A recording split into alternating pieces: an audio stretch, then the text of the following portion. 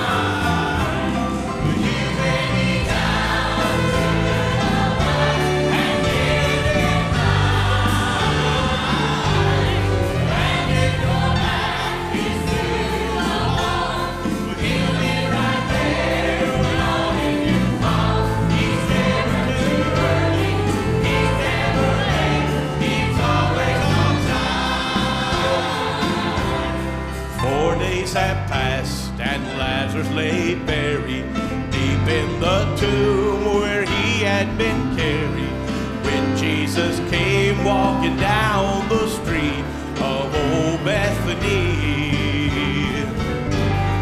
Martha said, Lord, it's too late, don't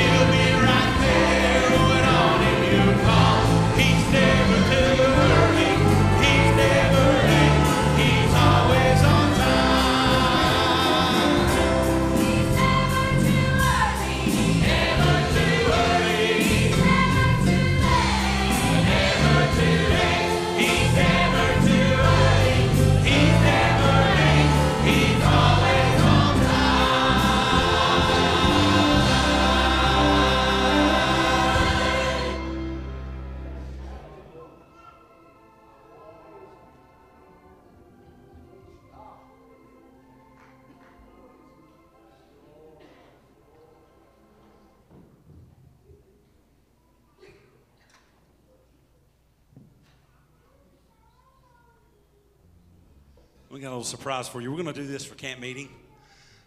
On Friday night, we're going to sing some of the older songs, bring out some of the songs from old days. Now, this is an oldie here, and we do sing some of those from time to time, as you know. But um, when I first came to this church as a little kid out in the, um, in the old sanctuary, Brother Ronnie Pendleton and Faye Pendleton sang this song, and this is a Jake Hess song. Well, I didn't know because my dad never told me the whole time when I was little, he never said, You know, I used to sing that song. He used to sing that song with his twin brother. And so we're going to do a combo. We're going to we're going to go back in time, okay? And then we're going to go back to the future. so we're going to we're going to play him singing that song and then we're going to join in with him. Is that okay? I think it's going to be a little bit of fun, but I think it, you're going to like this song. If, like the old saying says, if you, if you can't shout to that, then your wood's wet, I guess. Here we go. Randy, it's number one, brother, and you don't have to worry about turning anything off. When we come in, you can mute it, but it cuts off automatically by itself and then goes to number two. So after it cuts off and we come in, you might want to shut it down there.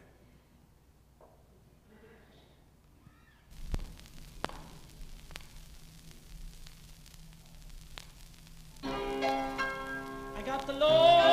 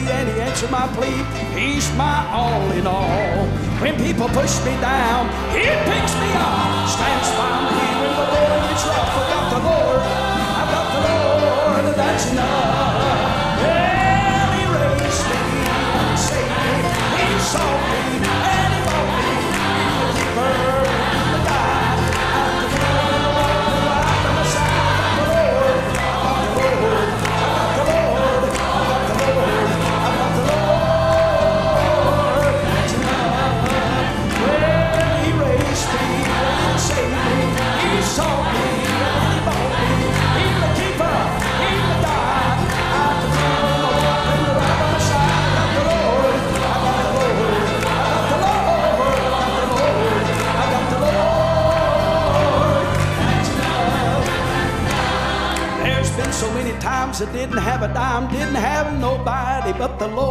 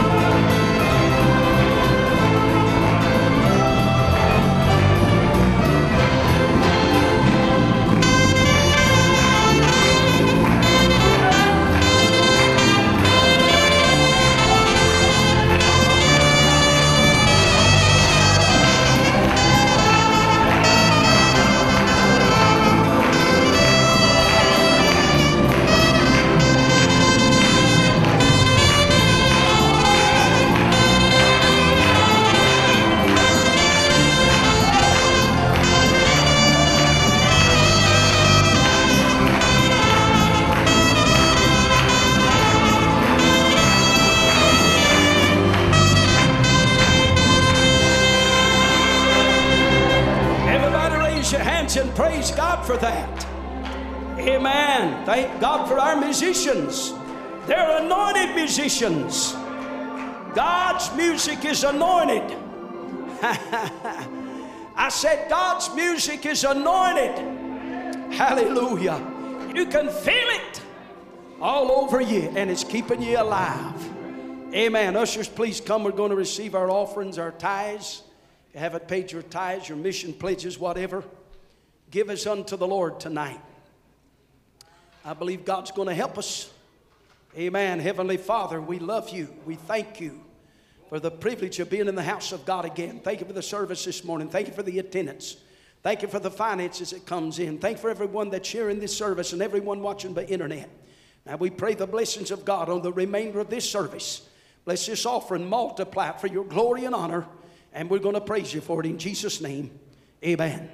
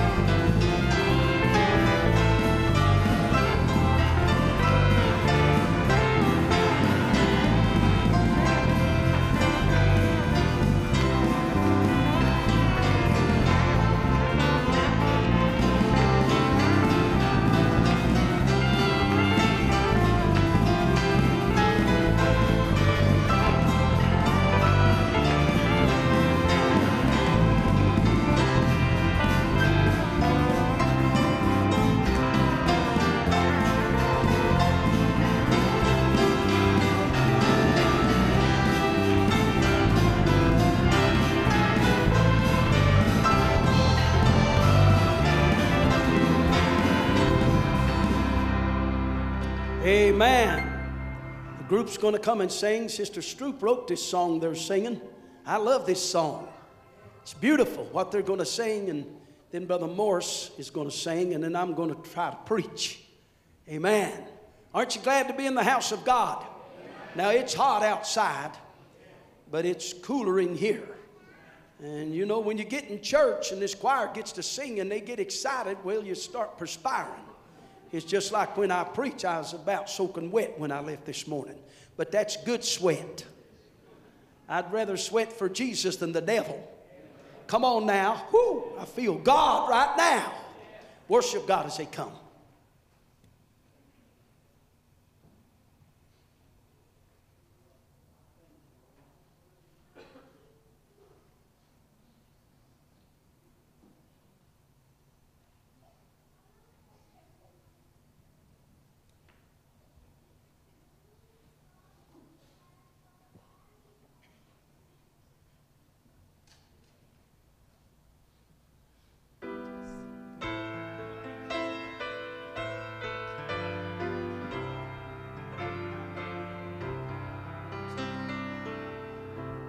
We're going to sing this song for Brother Nicky Huffman. He hasn't been able to be here for months now.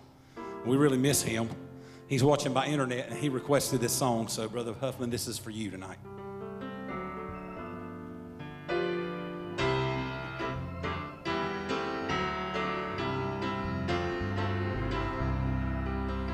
He brought me out. He brought me out of the fiery furnace.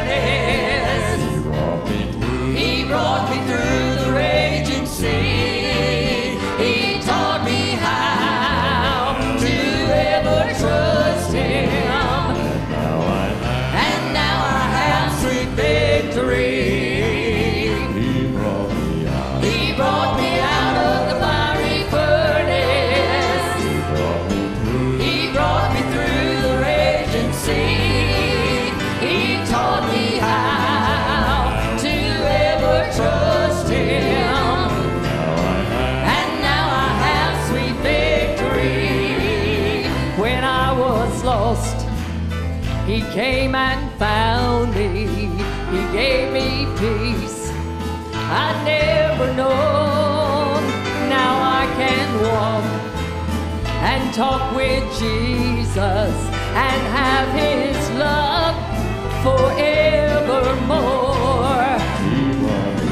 He brought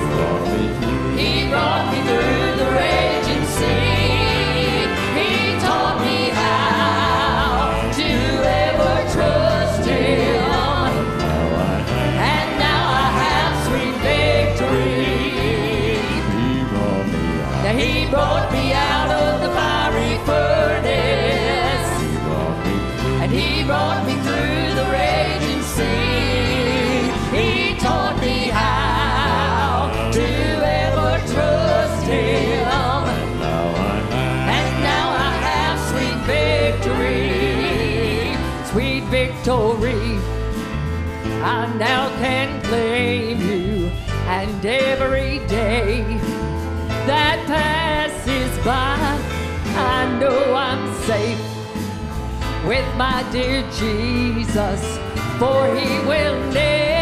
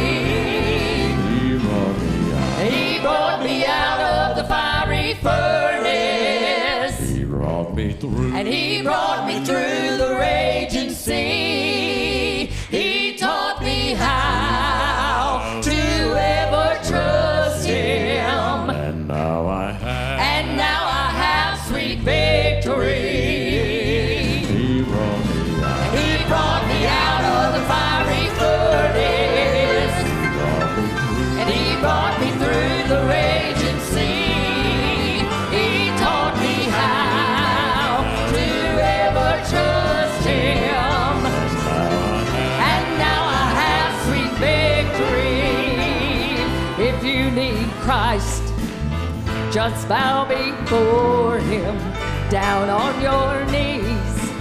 You can be sure that he will hear and he will answer. He'll give you peace and joy within.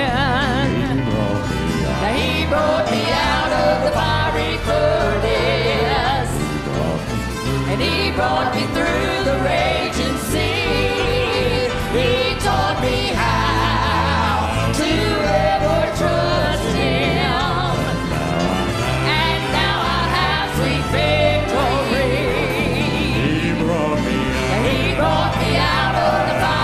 for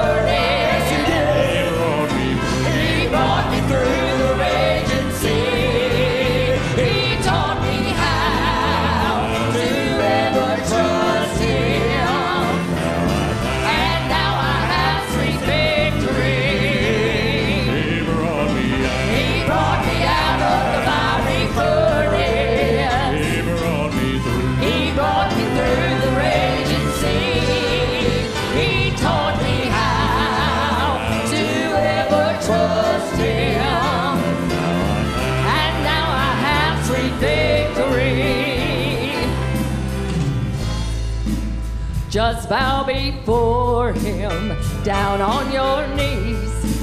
You can be sure that He will hear and He will answer. He'll give you peace and joy.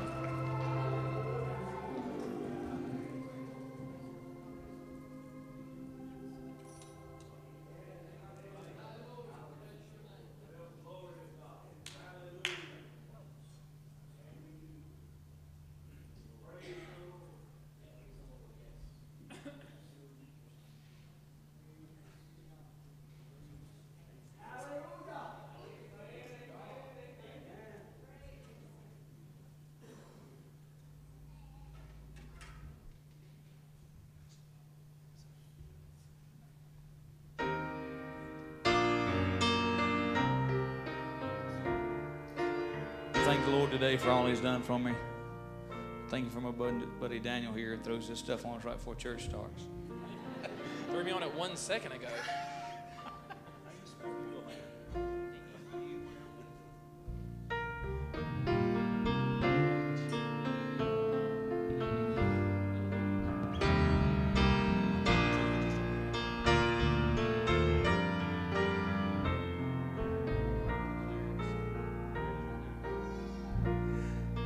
I'm coming.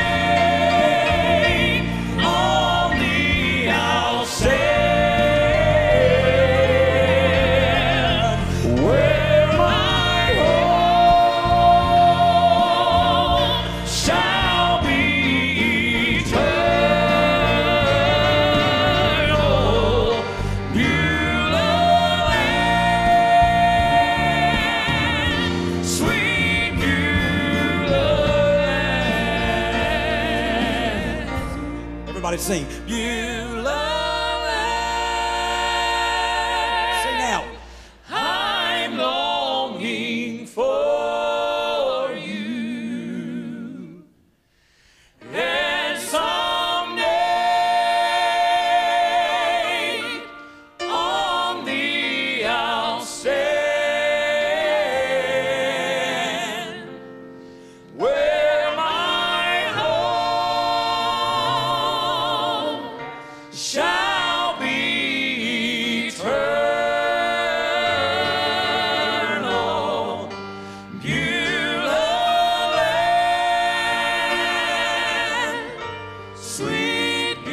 stand up. Brother George just going to come after this. Let's sing it one more time. Sing it with all your heart. Come on.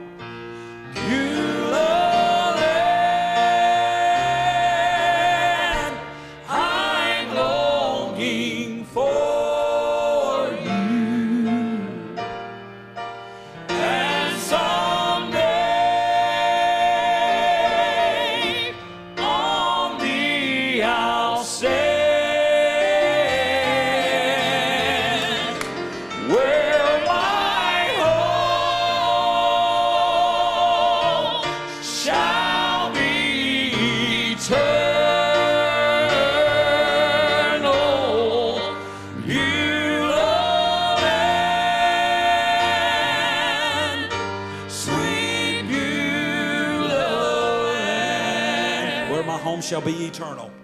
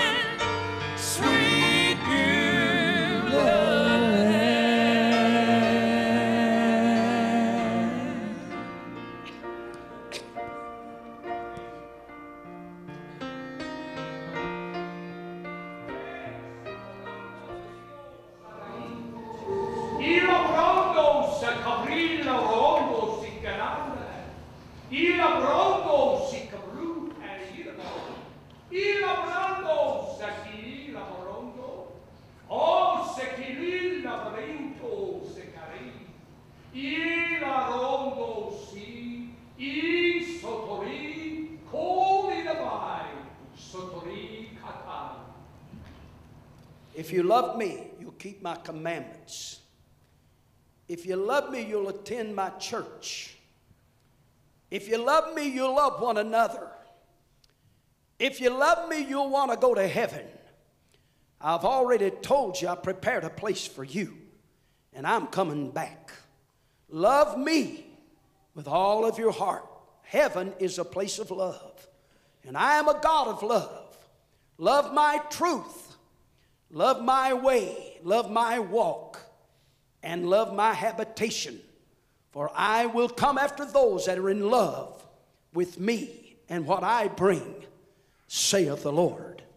Raise your hands and praise Him. Mama Shaddamai. Whoo! Hallelujah. Hallelujah. Amen. Everybody stand, if you will, please. Turn in your Bibles to the book of 2 Kings, chapter 4, and verse 26. 2 Kings, chapter 4, and verse 26. Going to preach on Is it well with thee? Is it well with thee? 2 Kings chapter 4 and verse 26. Heavenly Father, we thank you for this opportunity to be in this place today, tonight. Thank you for the service this morning. Thank you for the singing and all the hard work that the people put, put into practice and sing well for you and to worship you. And we pray you'll bless the remainder of this service. Help me to preach. I need your help. I know you will because you're God and you care. Bless this altar service. Meet the needs of these precious folks and help me to be a blessing to them tonight. And we'll praise you for all you do as conviction comes, as power is displayed. Save the lost and heal. And we'll praise you forever. Amen. Shake hands with somebody and say, I'm so glad I came to church. Amen. Praise God. Good to see Sister Brown tonight. Amen. Praise the Lord.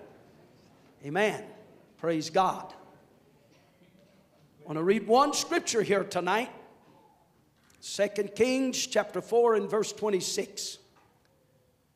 Run now, I pray thee, to meet her, and say unto her, Is it well with thee? Is it well with thy husband? Is it well with the child? And she answered, It is well. Let me read it one more time. 2 Kings 4, verse 26. Run now, I pray thee, to meet her, and say unto her, Is it well with thee? Is it well with thy husband? Is it well with thy child?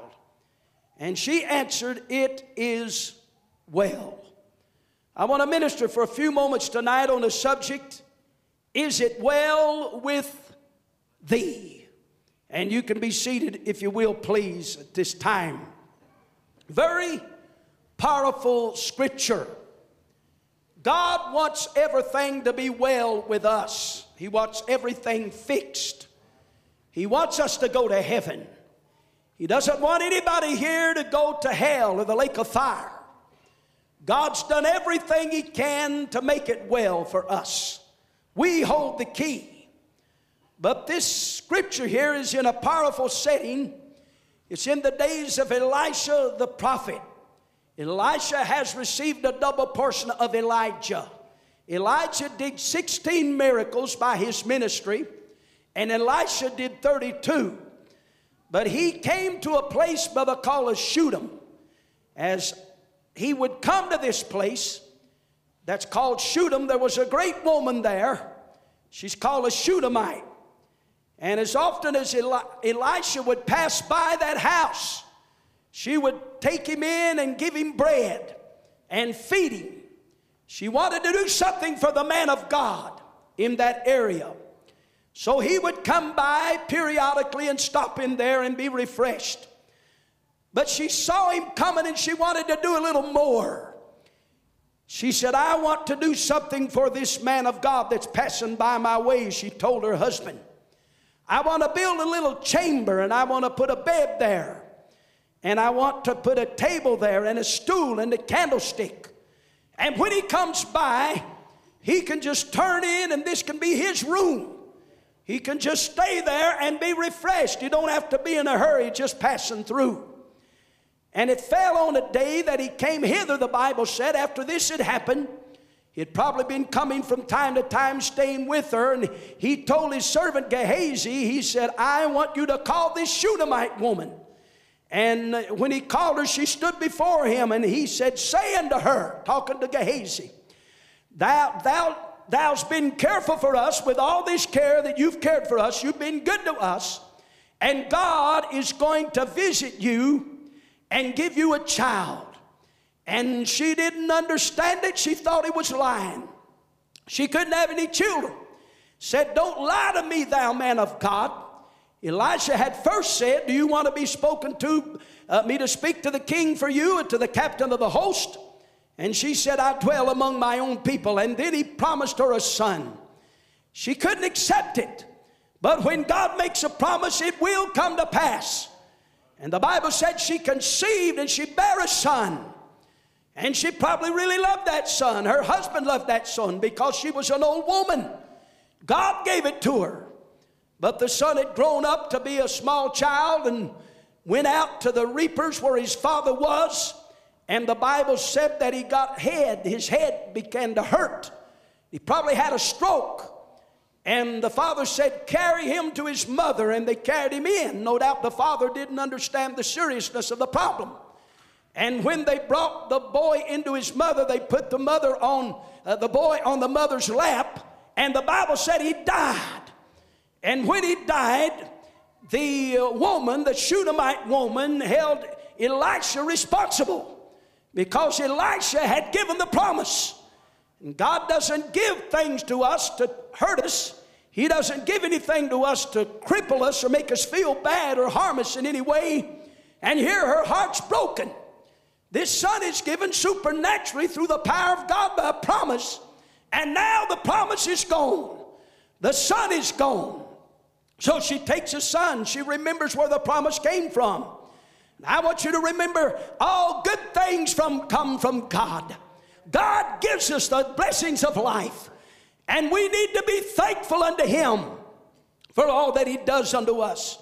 She took the child and she went up and she laid the child on Elisha's bed, and she shut the door and she went out. She went to the chamber where Elisha had stayed. And she called her husband and said, Send me, I pray thee, a young servant. And I want you to send me one of the asses or the donkeys.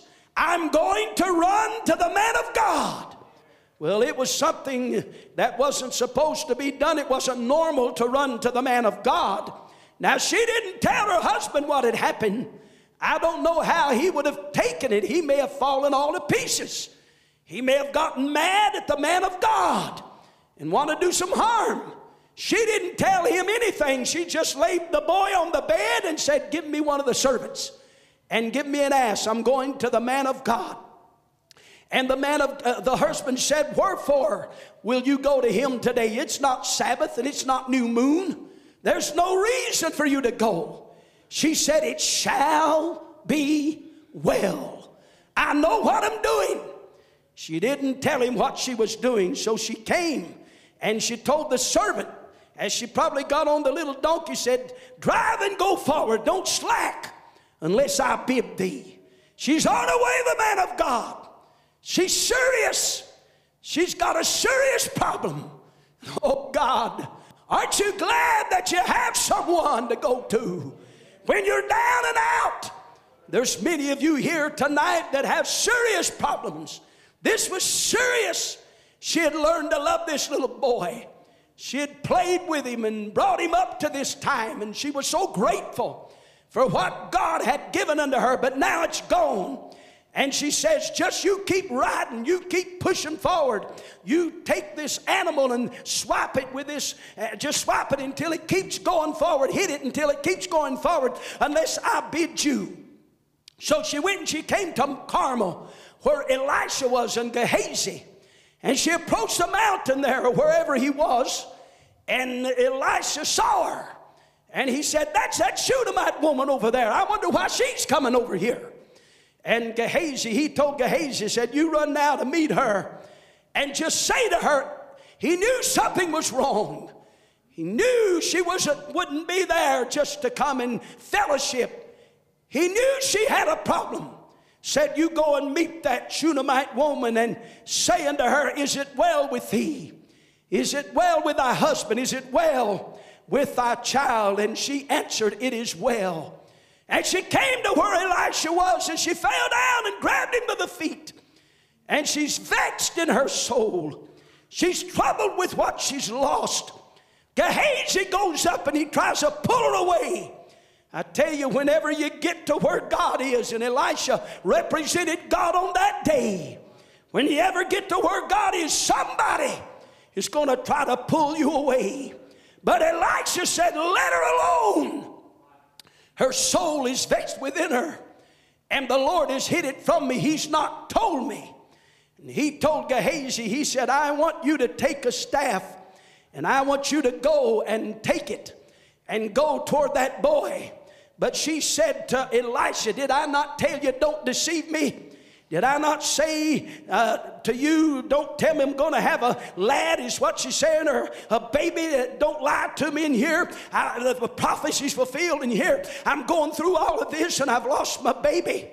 He told Gehazi, he said, Go and you take my staff in thy hand, and, and if you meet any man, salute him. If any man salute you, don't answer him. Don't say anything to him. There's one purpose, Gehazi, for you. And you get to that boy and you put that staff on him, and I'm expecting something to happen. So he goes to the boy and lays the staff upon him, but there's not voice, there's nothing heard. Nothing happens, and he returns and tells Elisha the baby's not awake. And, the woman, the Shunammite woman said, I'm going wherever you go. And, and the Bible said Elisha followed her. And he went, they went both of them, and they came to where the child was. And Elisha took the child and he got upon him and he put his mouth to the child's mouth and his eyes to the child's eyes and his hands to the child's hands. And the, the child began to be warm. And Elisha walked around and returned in the house and went to and fro and come and stretched himself upon the boy. And the Bible said he sneezed seven times. He was brought to life by the power of God. And he returned to the woman, the Shunammite woman. He called Gehazi and said, Call this woman. So he called her, and when she came unto him, he said unto her, Take up thy son. Then she went in and she fell at his feet and began to bow before him with her thankfulness. And she took up her son and went her way. But she says it's well when it's not well. She says it's all right when it's not all right. If she had to answer anybody, she'd say it's well. But most of the time, and we're human, and some of you are facing things that you just don't know how you're going to get through it. It's, it's an astronomical sadness and problems has come upon you because of the conditions of what's happening in your life.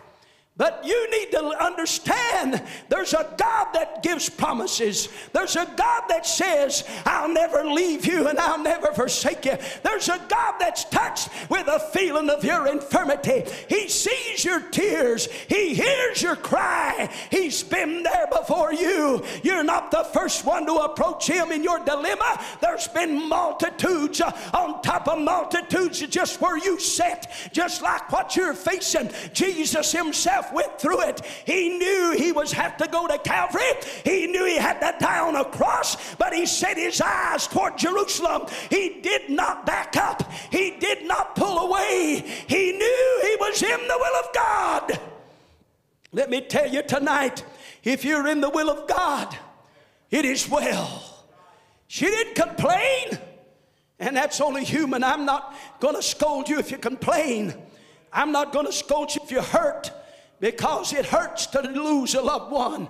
It hurts for the doctor to pronounce unto you, that announce unto you that you've got cancer and maybe a few months to live. It hurts. I haven't been there.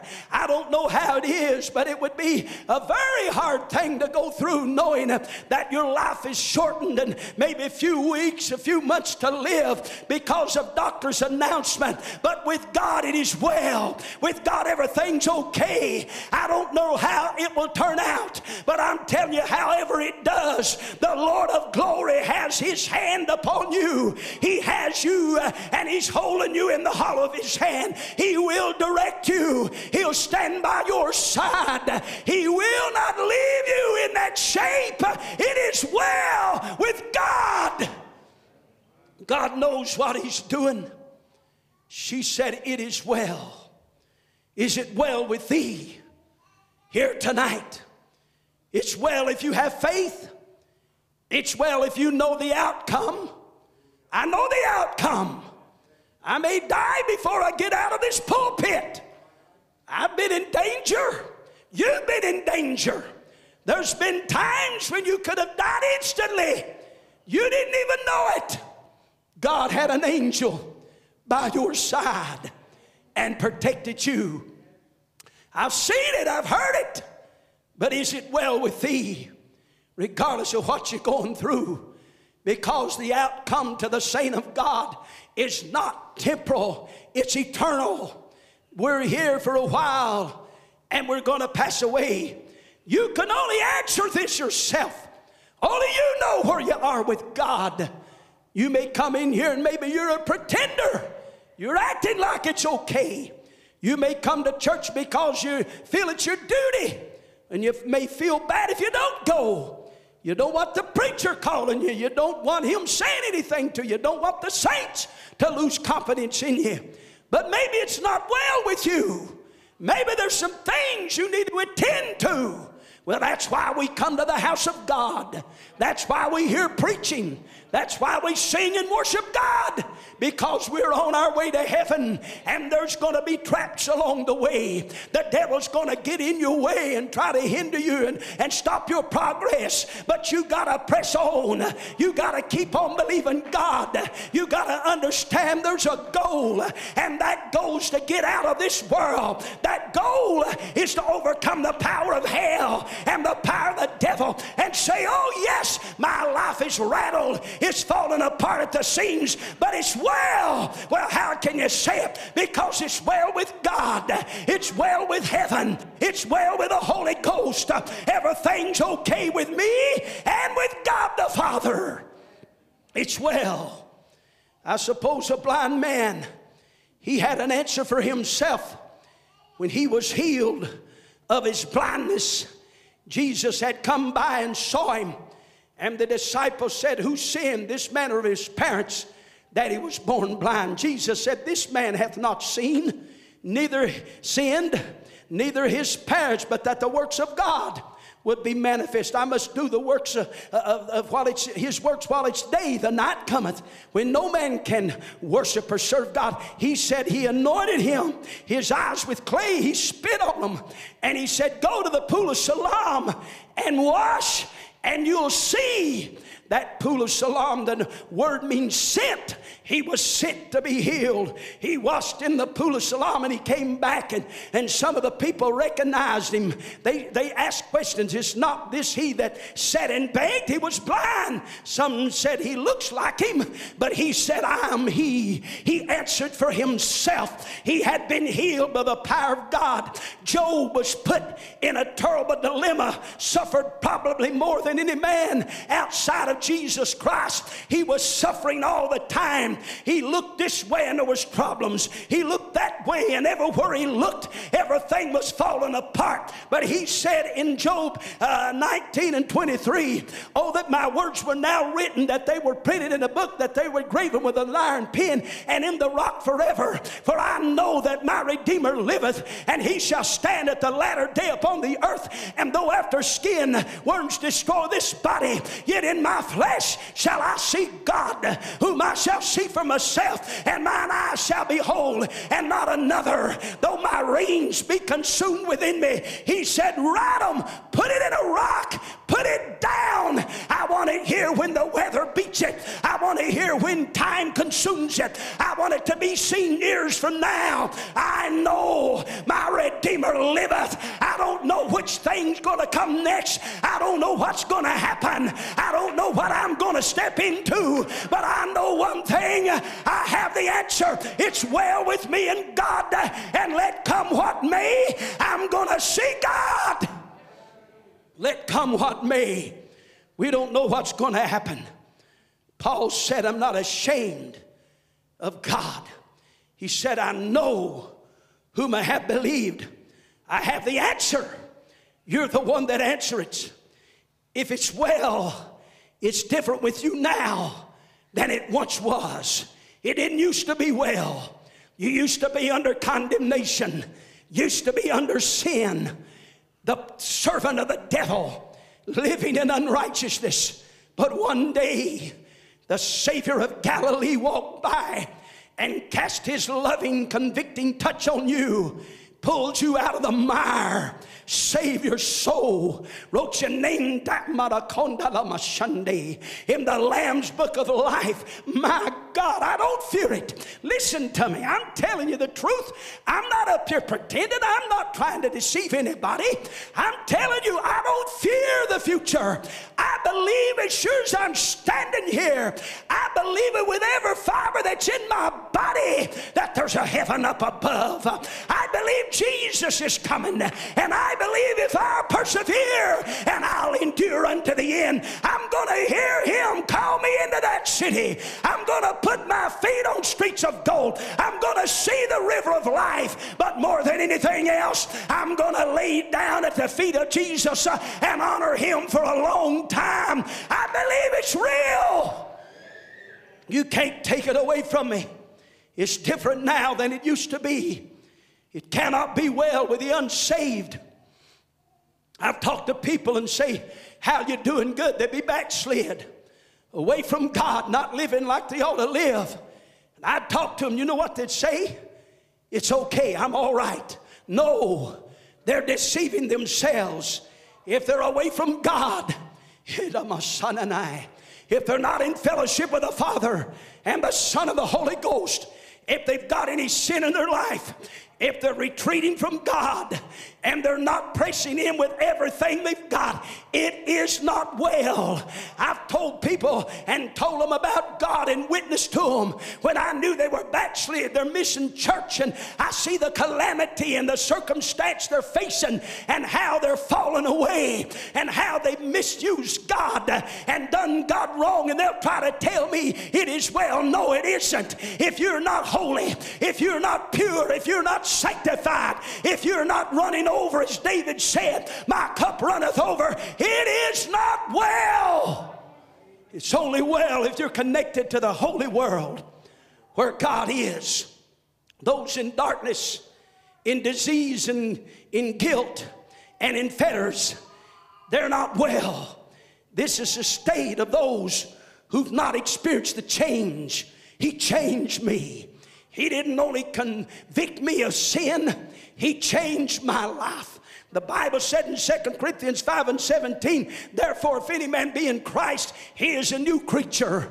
Oh, oh, things are passed away. Behold, all things have become new. I'm not a better man. I've not turned over a new leaf.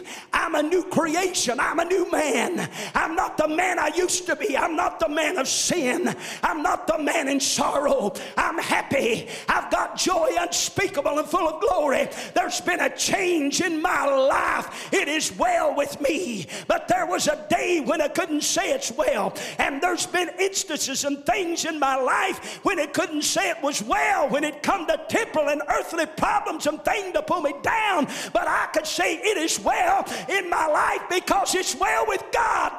The things of life are not going to turn me away from God. I'm not going to be separated. Come what may, I'm going to fight the fight. I'm going to stand in in the faith, I believe that it's well. Thank God it's well, regardless of what happens.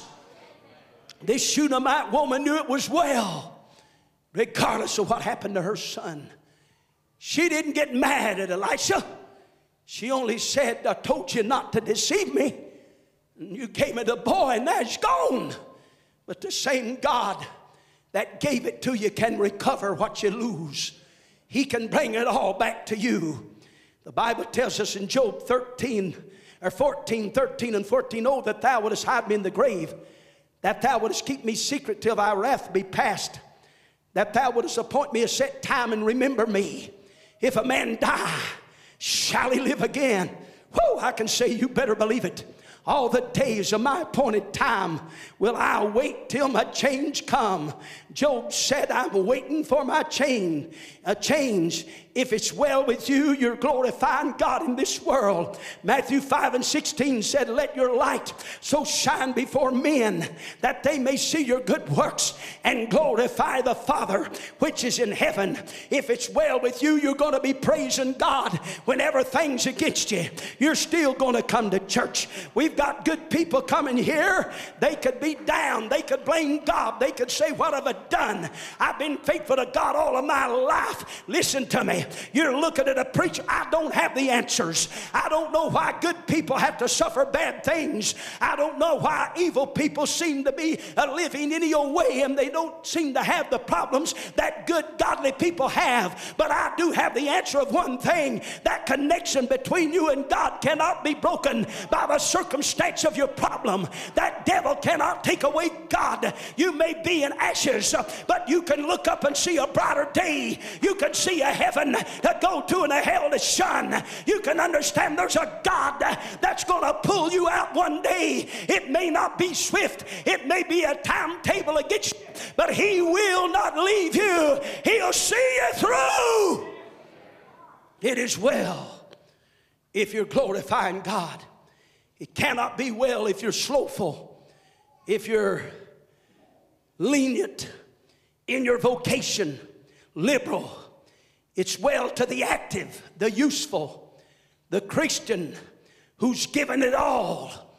The Bible said in 1 Corinthians 6 19 and 20, What know you not that your body is a temple of the Holy Ghost which is in you, which you have of God? You're not your own, for you're bought with a price.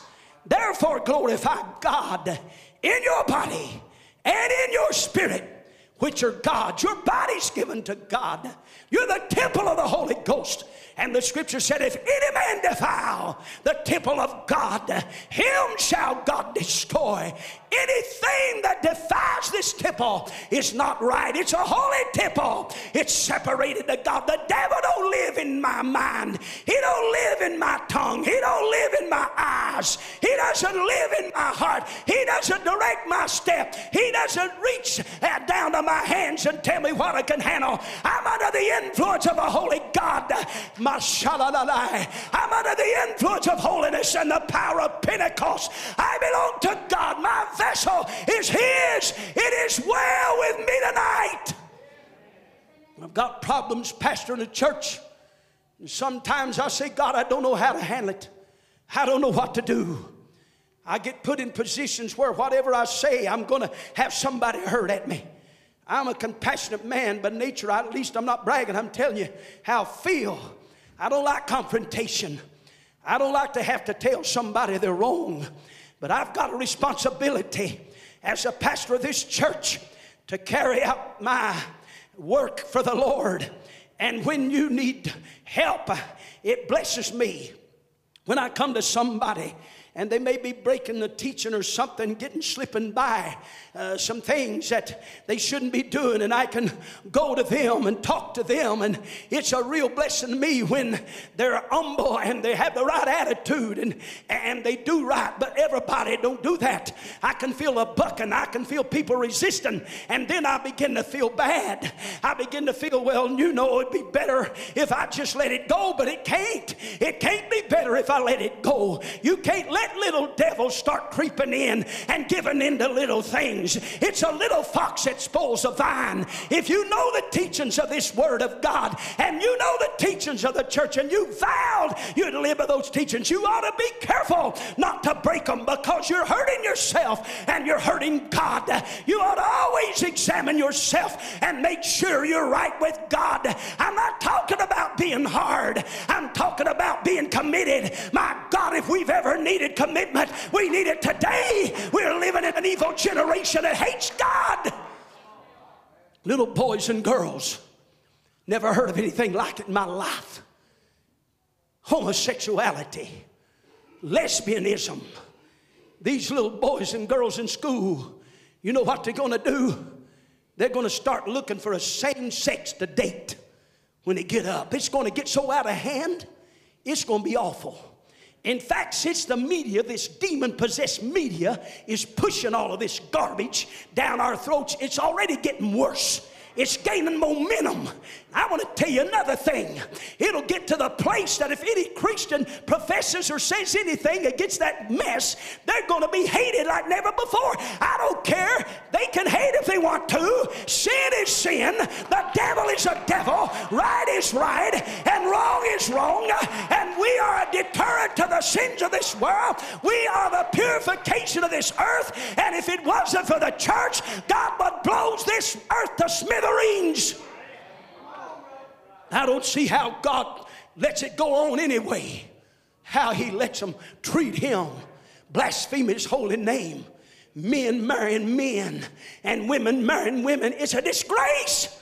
It's an abomination. We're raising up a generation like they did in the days of old when the Bible said there was a generation that knew not God and knew not his works. I want to know God. I want to know what he said because I don't want to go to hell. I don't care what God tells me to do. Let me be willing to do it. We need to walk straight.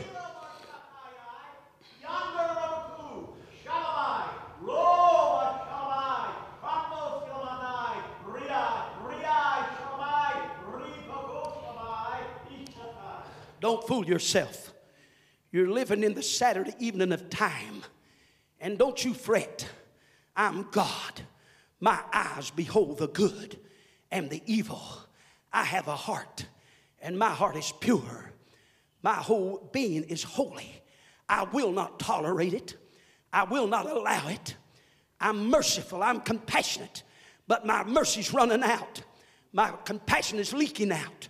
I'm coming back. I'm going to take my church with me for a while, and then I'm coming back and I'm going to settle the affair. I'm going to I'm going to take care of evil. I'll take care of the enemy. I'll take care of the devil. I'm taking care of everything that's in rebellion against my cause. There will be a brighter day. The earth will be full of the knowledge of the Lord as the waters cover the sea. For I am God, and the earth is mine, and the fullness thereof. All of it's in my hand. I will not tolerate it, I will move, saith God. Raise up your hands and praise Him one more time. I want you to praise God. You know what there needs to be? There needs to be an all out attack starting from general headquarters in Cleveland, Tennessee. There needs to be an all out attack in every Pentecostal church, whether it's Church of God or Assembly of God or Foursquare or Pentecostal Holiness. There needs a preachers need to start rising up and preaching against the, the sins of this age. The sins are mounting more and more, but there's a God that's more powerful than sin. I serve a God that's more powerful than hell. Let the onslaught come. I know who's going to win. I read the end of the book. It's going to be holy, it's going to be pure. The day of the Lord is going to come with power and glory and dignity. It'll be ushered in by Jesus Christ. He's going to bring it. It's well. It's well tonight. I ask you that are present in this service, you that profess is it well with you? Titus 1 and 16 said they profess that they know God, but in works they deny Him, being abominable and disobedient, and to every good work reprobate. They say they know God, and they say it's all right for a man to marry a man. They're not saved. Preachers, oh my God, what a mess. Preachers marrying the same sex and praying a prayer. If I was God, I'd blow them to smithereens. I'm not God. He's better, much better than I am. How in the world is a holy God going to join man and man together when God calls it an abomination? Oh, but the Bible don't mean anything. Well, they'll find out one day it means something because the worlds were framed by the word of God. God spoke. My God, and it was there. We're talking about a God that's going to take over. Listen to me. I know it's well with me. Is it well with you that profess? Do you really have it? If you don't have it, you better get it. Romans 1 and 22 said, professing themselves to be wise, they became fools. This is a holy way of life. Young person, is it well with you?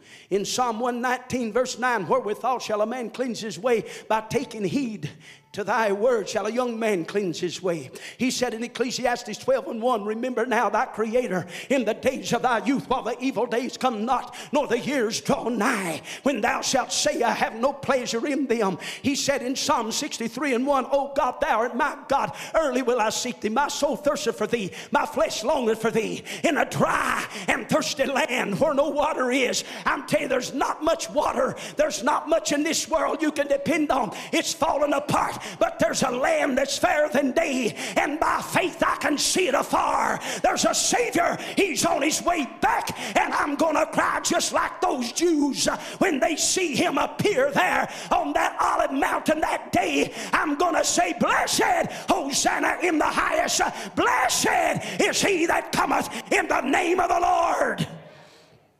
It's happening. Parents, is it well with thee? Have you put a wall around your family? Is God your defense? Are you an example? Do you reprove and rebuke your children? Do you teach them to fear God? Do you bring them up in the ways of the Lord? Listen to me, family. Listen to me, parents. Listen to me, grandparents. You ought to, I know you've got, I know you've got children. You bring your grandparents, yeah, grandparents, excuse me. You bring grandchildren out here and they, they come out here and, and they got these little earrings in their ears.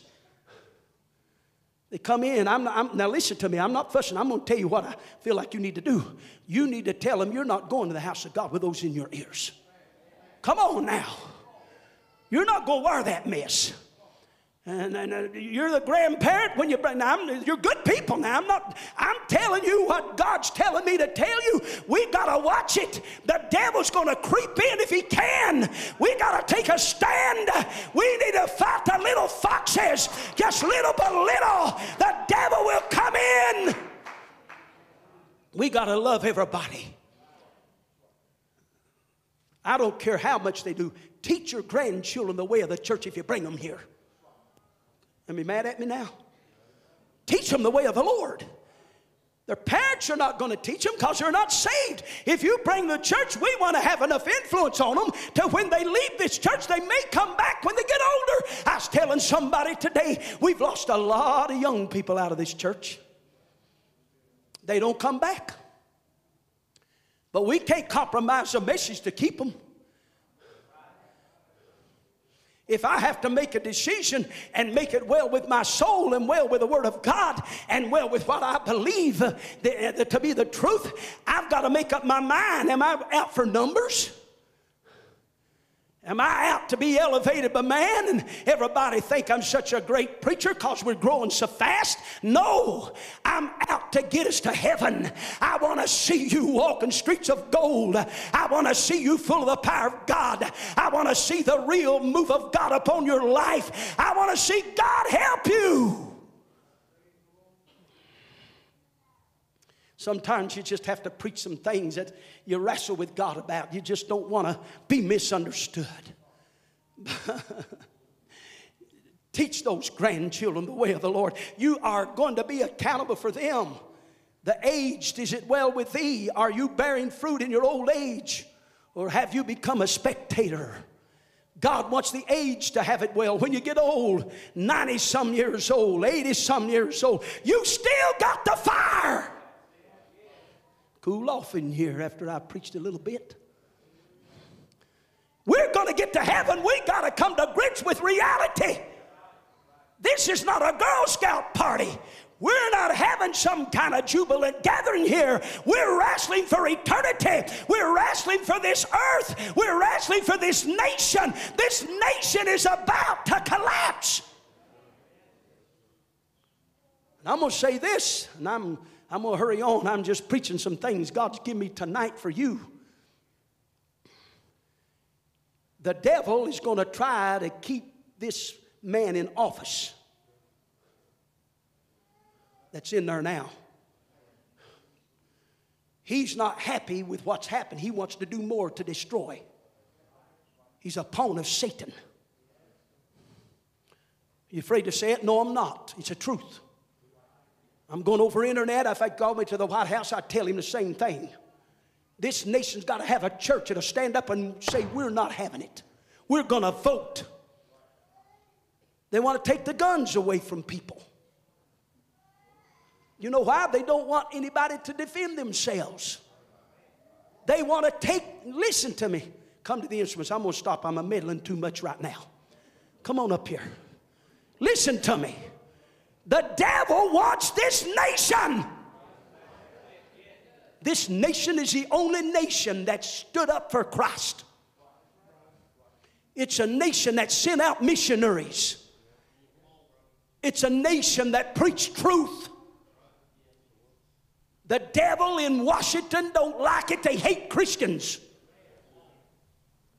The Muslims are more a threat to us than Christians. Christians don't go around killing people and a certain sect of the Muslims do, you're not safe to walk the highways. Every day you see mass killings. What is it? The devil's got this earth. But listen, God is going to speak to that devil and he's going to take his hands off because the earth belongs to God. The devil's going to be cast in the lake of fire and his angels. We're going to walk on streets of gold the worst they can do to me is kill me. and if they do, I'm going to land right straight in glory land. Woo! Somebody's going to have to cry out. It's getting bad, church. This election's coming. And start playing so I can stop. I ain't even going to finish. This election's coming. I told you several months ago this is going to be a different year than there's ever been. Different. Donald Trump gets himself in trouble all the time. Just talk a little bit about politics. I'm not going to tell you how to vote. That's up to you. He gets himself in trouble, and then we got the other side. Oh my God, I'm going to move to Cuba if she goes in. Come on now. You might say you shouldn't preach things like that. Why not? We got to warn people. We got to get them to understand we're walking on thin ice. It won't be long till they'll be handcuffing preachers like me and putting us in jail.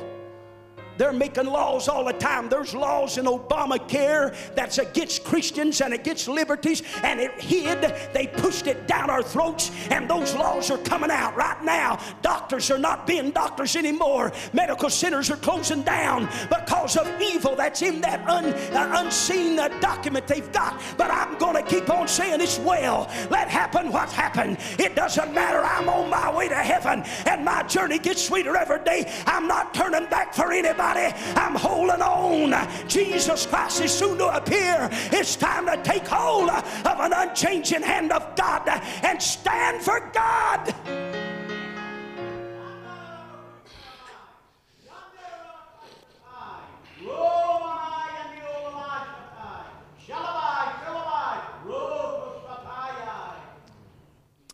Don't doubt me. Don't resist my truth. Don't be angry with warning. Don't be disturbed with instruction. For I love you so much until I will warn you and I will show you what's ahead. You will not be taken by surprise. Just keep looking up. Keep your eyes on me, for I am coming. I said, I am coming. I am sad. I am sickened. I am troubled with what I see. But I know those that are mine, and they shall never perish if they'll hold on to me and stay in the fold. I'm coming soon, saith the Lord. Everybody stand, please.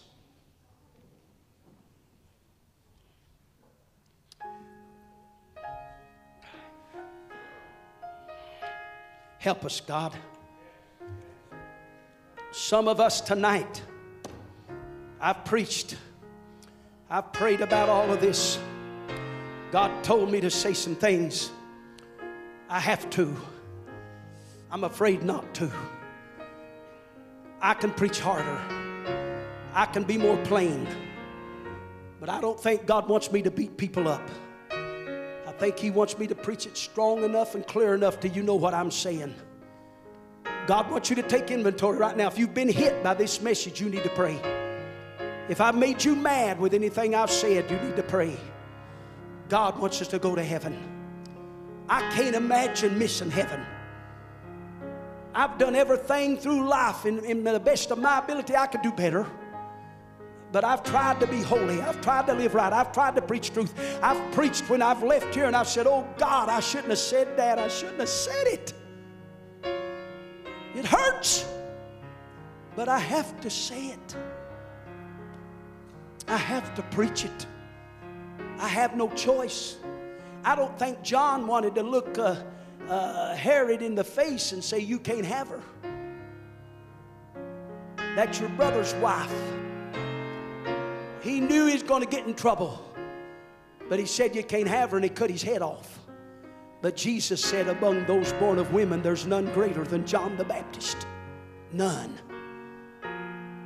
He didn't have bright lights like a big uh, fancy evangelist like they are today with all the money, jets, and all that stuff. He was out in the wilderness. He didn't end up on the steps of the big uh, palace of the king. He was in the wilderness saying, Prepare you the way of the Lord. They went out to him and he called them vipers. Who's warned you to flee from the wrath to come? Killed him. I want us to come to this altar tonight I want us to, to say, Is it well with me? And, and preacher, I, am committing to you and I, what you've preached to me tonight. I'm taking it at face value and I, I'm not going to get hurt. I'm not going to get upset. I'm going to come and pray about it and I'm going to try my best to line up to what you're telling me because you're anointed and you have the message of God and God's telling you what to preach. And I want you just to line up and come and tell me. I, I want you to line up and tell God tonight. About your family. Tell him about your grandchildren. Tell him about your loved ones. Tell him about everybody that's in your household. And, and just try to do right. You, you love God and you overlook some things, but try to be conscious of what you are and where you go and what you say and how you live because we're living in the Saturday evening of time. It could happen any day now. The rapture will take place and we don't want to miss it. Help me, God.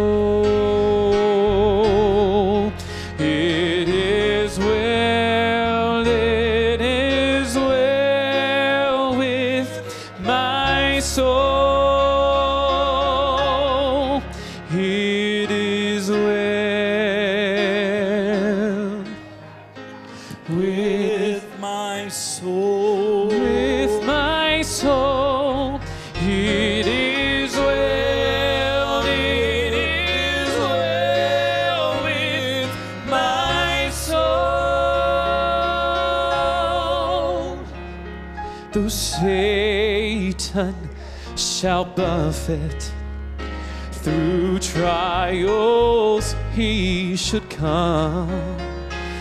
Let this blessed assurance control that Christ has regarded my estate and has shed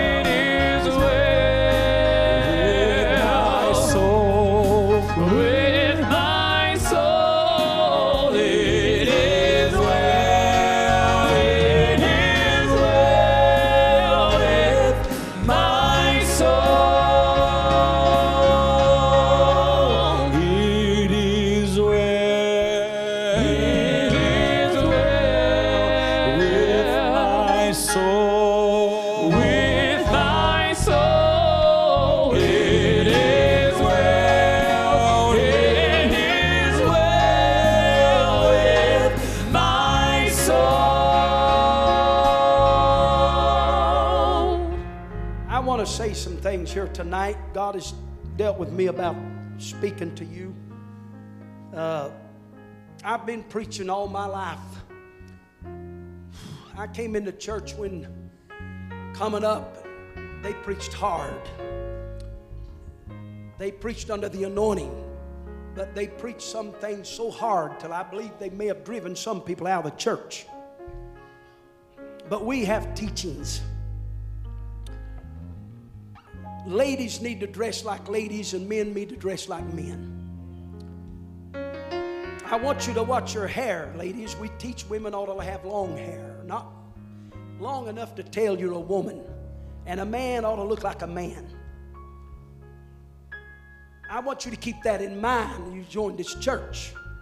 We're a holiness church.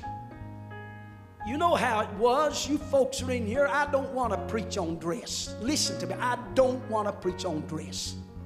Because preaching that message is not going to save one soul, it's not going to heal anybody.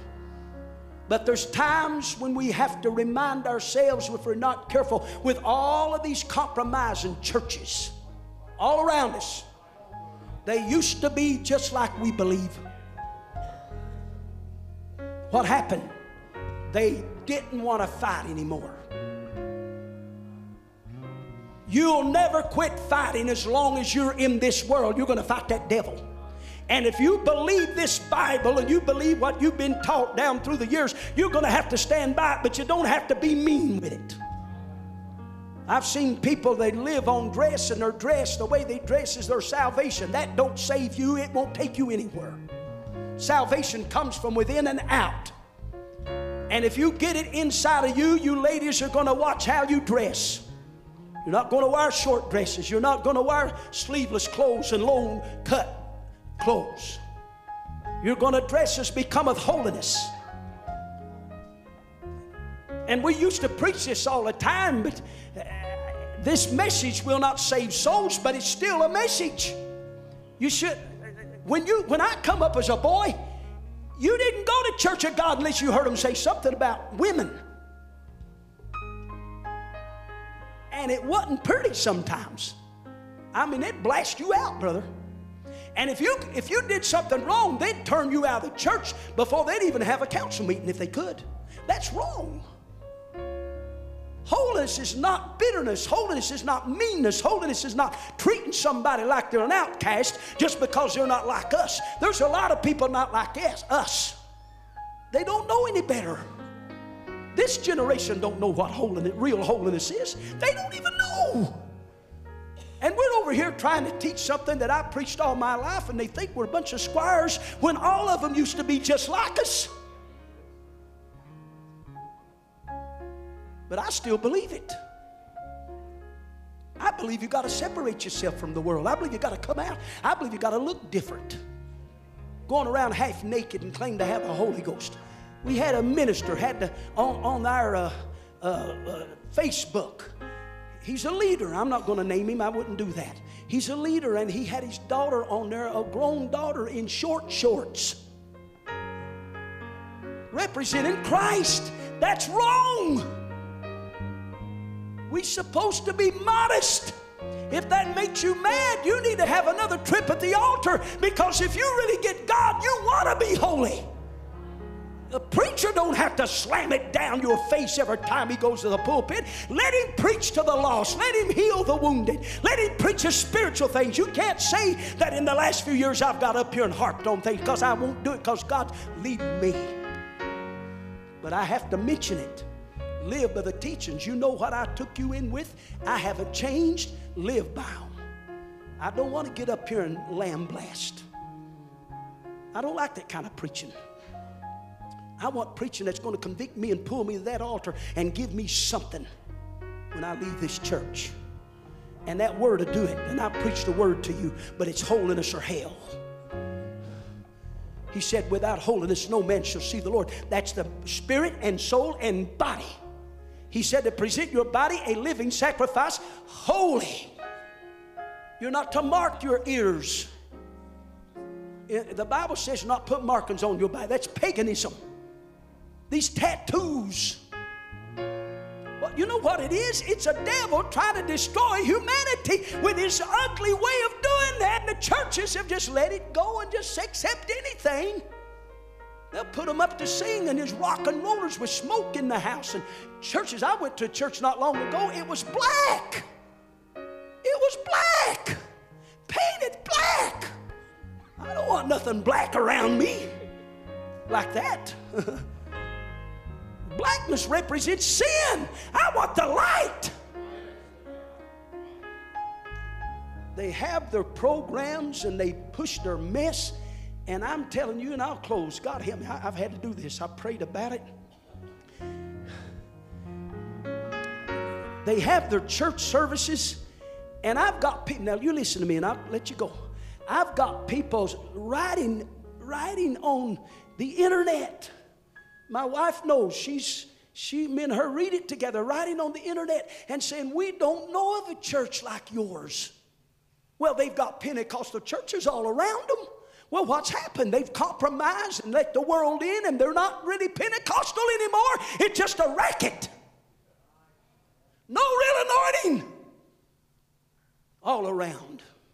You know. Thank God we're not bragging in ourselves. We ain't nothing. I'm just an old piece of clay, but I'm going to be a diamond someday. Hmm.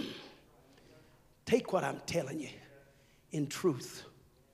Love it. Love holiness. Because the straighter you live, the more better you're going to become, and the more God's going to talk to you, and the closer you're going to get to God. And let me tell you something the more you pray, the sharper your convictions are going to come. It won't come because a preacher's beating you over the head every time he gets in church. It'll come because God will talk to you, because when you get close to God, you'll lay it aside. Because God will help you, He'll give you convictions. Amen. They still love me? I love you. Stand and raise your hands and praise the Lord for this service. I've poured my heart out to you and just, just told you what I wanted to tell you, Father. Bless this congregation. This is a church we love you, and I am responsible for these wonderful people. They're godly, they're good people, God. Every one of them, they love you. I believe that. Some of them may need to get in here and get closer, but God, we're going to reach them. We're going to preach it. We're going to love them. We're going to tell about Jesus. We're going to preach the gospel like we never preached it before in the love of God, and that holy word is going to get a hold of lives, and our church is going to grow. In Jesus' name. Shake hands with somebody and tell them you're glad to have them tonight.